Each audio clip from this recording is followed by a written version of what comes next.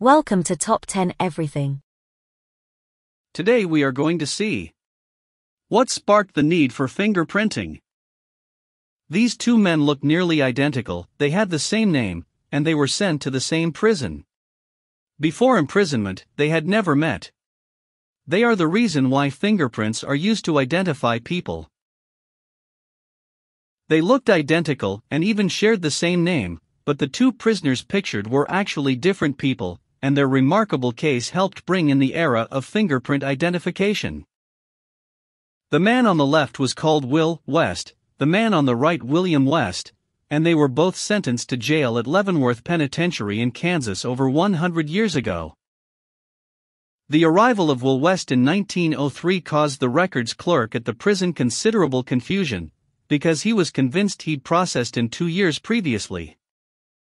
The clerk, M.W. McClaughry, asked Will West if he'd ever been to the prison before. West said he hadn't. McClaughry then said about taking his Bertillon measurements, named after the French policeman Alphonse Bertillon, which was the usual method of identifying people and involved recording the dimensions of key physical features. McClaughry, still convinced the man before him had already been to the prison, looked up his name in his filing system and found one William West, who looked identical to Will West in the photographs in every respect. They even shared the same Bertillon measurements. But Will West insisted to McClaughry that it was not him. That's my picture, but I don't know where you got it, for I know I have never been here before. To McClaughry's shock, he was absolutely right too. William West was a different person altogether, and in fact had been admitted to the prison two years previously for murder. The case highlighted the flaws in the Bertillon method, and it wasn't long before the U.S. authorities turned to fingerprinting. Its pioneer was Scotland Yard Sergeant John K. Ferrier, who met McClaughry at the St. Louis World Fair in 1904 while he was guarding the crown jewels, which were on tour. He told the U.S. prison officer how Scotland Yard had been using fingerprinting for the past three years and evangelized its accuracy. McClaughry was sold, and after being instructed on the technique, he introduced it to Leavenworth Prison. America's first national fingerprint repository was established shortly afterwards.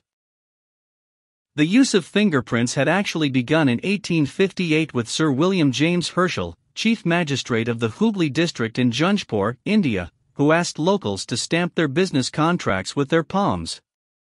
However, he did this on a hunch that it would be a good way of identifying someone, not because he knew the science behind it. How fingerprinting works.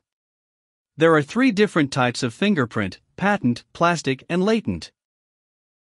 The first type occurs when the skin of a finger contaminated with something makes contact with the surface of an object, leaving a ridge impression that can be seen with the naked eye. Plastic prints are also visible to the naked eye and occur when finger leaves an indentation in a soft material. The third type is a latent print, which can normally only be seen with enhancement of special powder, for instance. Latent prints come about from the finger secreting sweat onto an object, which leaves an invisible pattern on it.